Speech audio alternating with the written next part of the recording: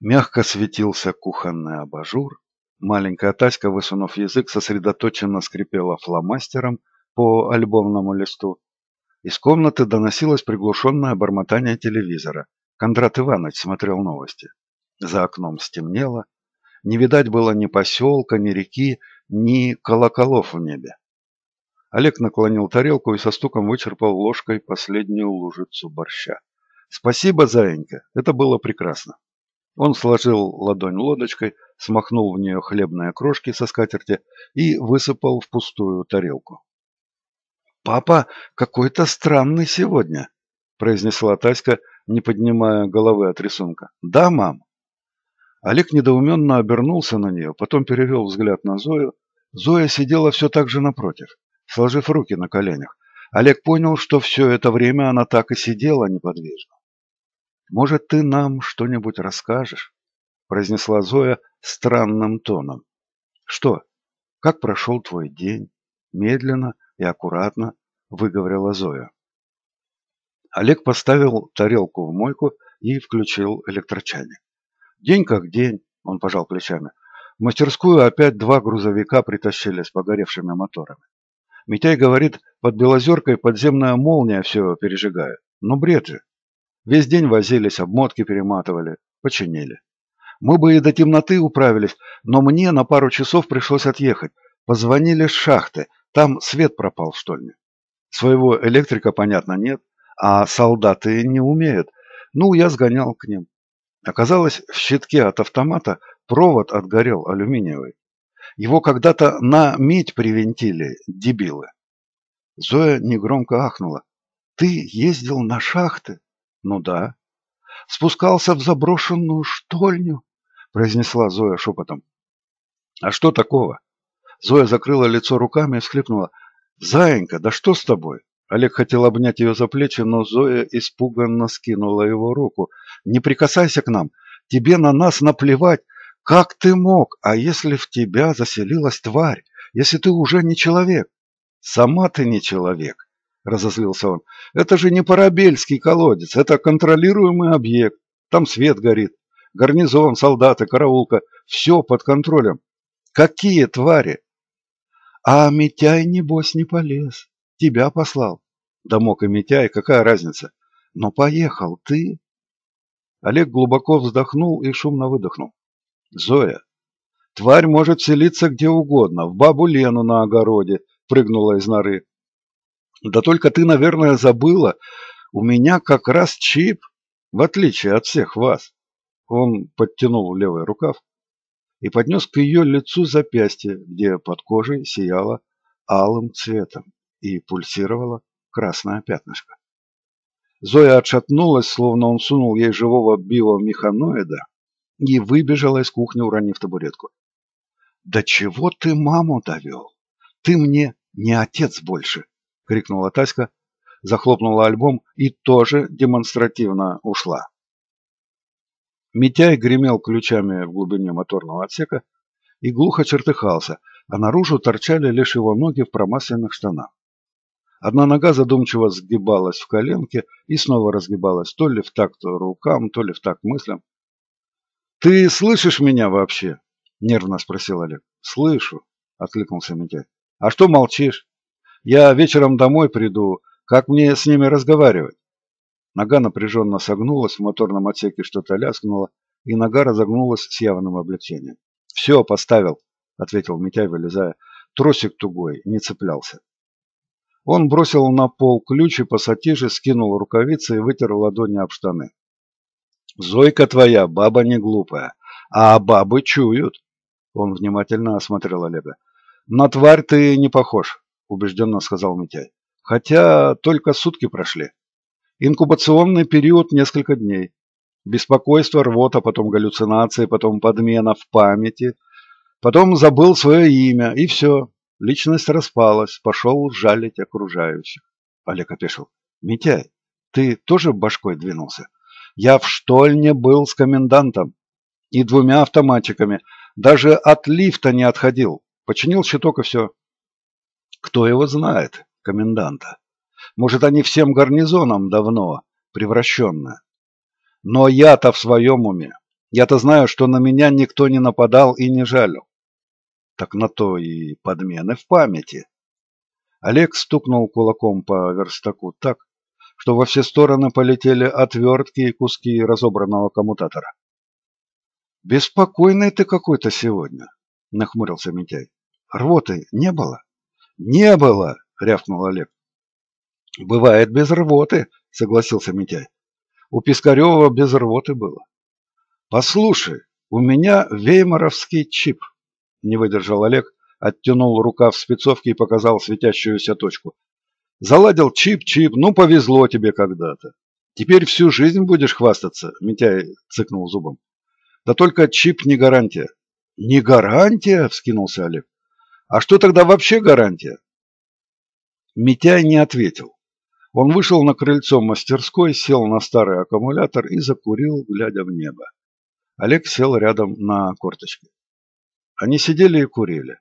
Небо было ясным и светлым, и сегодня в нем было много колоколов. Гигантские перевернутые чаши неподвижно висели над городом, окутанные дымкой, словно пыльные. Из чешуйчатых колокольных раструбов тянулся пар, но до земли не долетал, рассеивался в атмосфере. Кто там говорил, что Геймгольц, что ли? Задумчиво произнес Олег, что это не пар и не дождь. А это они так свою музыку играют. Они же колокола, хоть и небесные. Какие? Небесные. Кто? Колокола. Где? Нахмурился Митяй. Вот же. Митяй внимательно проследил за его взглядом, и лицо его помрачнело. «Пойду-ка я домой», — сухо сказал он, затушив окурок и встал. «Куда ты?» — удивился Олег. «Полдень же. Пойду», — упрямо сказал Митяй. «Надо так». Олег недоуменно смотрел, как Митяй сбрасывает спецовку и переодевается. И давно, Митяй нервно сглотнул, небесные колокола. В смысле, не понял Олег. С эпохи инфильтрации. Это как давно? Олег уставился на него в упор. Митяй, тебя там в моторе никто не ужалил. У тебя не подмены в памяти. Инфильтрация до нашего рождения случилась когда вся эта дрянь на земле возникла. А потом? Потом паника и сопротивление, патрули и зачистки. Потом привыкли. Жить-то надо. А колокола? Они на колокольнях? Вот же они, в небе висят. Понятно. А облака где? Облаков сегодня нет. Сегодня нет, повторил Митяй и надел кепку. Я тебя услышал. Олег рассверепел. Ты так говоришь, будто я тут один вижу колокола. Ты их фотографировать ездил на Эльбрус, где они огромные. Ты сочинение про них писал выпускное. Ты мне дверь загородил. Митяй нервно облизнул губы. Можно я просто выйду? Ладно. Олег посторонился и протянул руку. Давай, до завтра. Митяй испуганно отшатнулся от протянутой руки. Он бочком протиснулся в дверь и, протиснувшись, вдруг бросился бежать. Кепка слетела с его головы, но он не оглянулся. Ключ не поворачивался. Дверь была заперта изнутри. Олег рассверепел и начал трезвонить звонок, уже понимая, что никто не откроет. Но за дверью послышался знакомый стук костылей, лязгнуло, и дверь приоткрылась на цепочку. Из темноты коридора глядел тесть, лысый, с мохнатыми седыми бровями, в камуфляжном халате. Зоя с Тасей уехали, сказал он и опустил глаза. Куда? Кондрат Иванович не ответил. Врать он не умел и не любил. Боятся они тебя, сказал он наконец, что ты превращенный уже. Вы тоже меня боитесь, Кондрат Иванович? Майор, боевой офицер. Мне-то что уже? Он покачал головой. За них сердце болит. «Да вы сговорились, что ли, живого человека травить на пустом месте?» – вскипел Олег. «У меня что, клешни по всему телу? Слизь капает. Как я могу вам доказать, что я не тварь? Что, мне, что мне делать? Справку принести?» «Справок о том не дают», – вздохнул Кондратий Иванович. «А что делать? Шел бы ты сам в штаб зачистки, пока еще ноги ходят, и никто из близких, и ни, никого из близких не угробил. Так бы поступил я и любой офицер. А как иначе-то? Да я ни с кем не контактировал. Да у меня чип. Олег дернул рукав и сунул запястье в дверной проем. Чип светился. По лицу Кондрата Ивановича забегали алые всполохи. «Что такое чип?» – спросил он. Олег опешил. «Чип лаборатории Веймара. Экспериментальный, защитный, несовместимый с тварями которые испытывали когда-то на добровольцах, пока правительство не запретило. Такой же, как у Геймгольца, у академика Павшина, у маршала Демидова. Я, наверное, один во всем нашем городе. Покойников к ночи поминаешь, перебил Кондрат Иванович. Геймгольц утопился. Павшин выпал из окна. Демидов застрелился, а сам Веймар... Да это когда было? С эпохи инфильтрации ни одна тварь не вселилась в чипированного. Они не могут напасть, если чип. Какой еще инфильтрация? Хватит из меня дурака строить, взорвался Олег. С которой вы воевали и без ног остались. Когда левиафаны появились, колокола в небе и твари под землей начали плодиться. Твари? Ты правительство имеешь в виду? Твари, которые гусеницы, оборотни, которые жалят человека, растворяют изнутри, потом носят его оболочку, роль играют, ходят превращенные. Кондрат Иванович все хмурил и хмурил брови. Гусеницы, твари, превращенные... Как понимать этот бред? Олег замолчал, и вдруг до него дошло. То есть у меня бред? Воскликнул он. Подмены в памяти, да? Инфильтрации не было, колоколов нет, превращенных нет. Так у вас выходит? Выходит, так, растерянно согласился Кондрат Иванович. Ага, торжествующе вскричал Олег. Тогда всего один вопрос. Что же вы меня, больного бредом, в родной дом не пускаете? Положите на диван, дайте стакан воды, вызовите врача. Нет.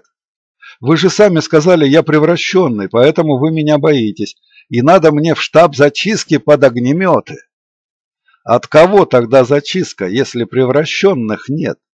Откуда тогда у меня подмены памяти, если твари не жалят? Как вы эти нестыковки мне объясните?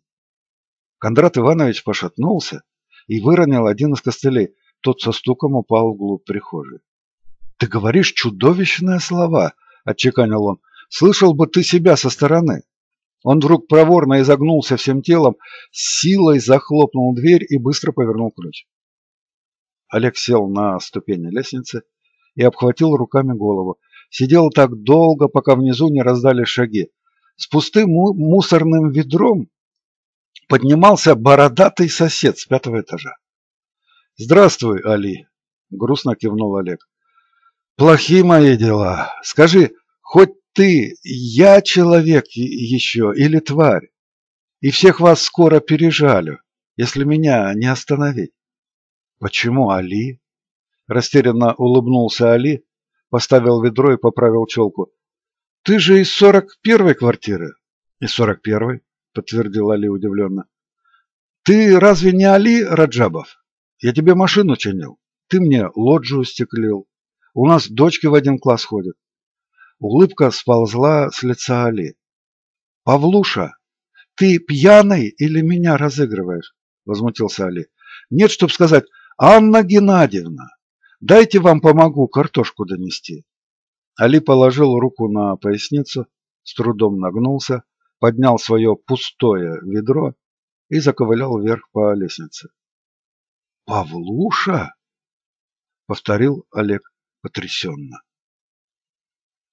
Таська заглянула за гаражи на заброшенный дворик, осторожно раздвинула высоченную крапиву и ойкнула. «Все сюда!» – закричала она радостно. «Он здесь! Нашла! Нашла!» Вскоре прибежала Зоя, глянула и замерла. А следом уже неслись со всех концов двора Митяй, Кондрат Иванович, Раджабов, Пискарев. Они столпились вокруг тела, висящего на электрическом шнуре привязанном к ветке старой яблони. Пахло крапивой, сырой землей и битым кирпичом. Таська подошла поближе. «Он умер, да?» – спросила она и хотела потрогать сизую ладонь, но Кондрат Иванович не разрешил. «Погоди-ка!» – произнес он и вдруг скинул свой ботинок, обнажив бурую палку вместо ноги с большой клешней на конце. Этой клешней он, аккуратно прицелясь, перекусил запястье прямо в том месте, где все еще светилась красная точка, но уже не пульсировала. Хрустнули кости, на землю вылилось немного крови, густой, как смола. Огонек потух. «Последний чип», — сказал Кондрат Иванович. «Вот теперь точно все. А с остальными справимся. Можно уже не прятаться». Камуфляжный халат на нем вдруг разлетелся. Обнажив зеленые гусеничные складки, он проворно изогнулся всем телом и ввинтился в землю сразу по пояс. Все обрадованно зашумели. Голова Таськи втянулась в плечи, плечи раздались в стороны, а руки превратились в клешни, которые она тут же погрузила в грунт. Рядом пульсировал и набухал Митяй. Упал и покатился по земле Али, бесформенными кольцами выползая из надоевшей одежды и ввинчивая в землю. И лишь Зоя медленно втягивала в ладонь свои пальцы по очереди, словно прощаясь с каждым. Вскоре на земле под старой яблоней с висящим телом остались лишь обрывки одежды и большие свежие дыры в подземный лабиринт, а сверху безучастно смотрели пыльные небесные колокола.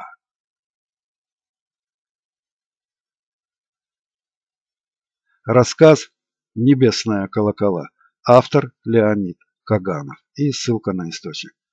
Плейлист на моем канале Леонид Каганов «Рассказы». Пять видео, озвученное мной.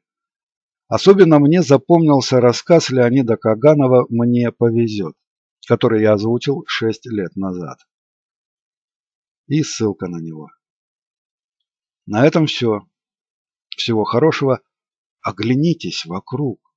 Может быть. Канал Веб-рассказ. Юрий Шатохин, Новосибирск. До свидания.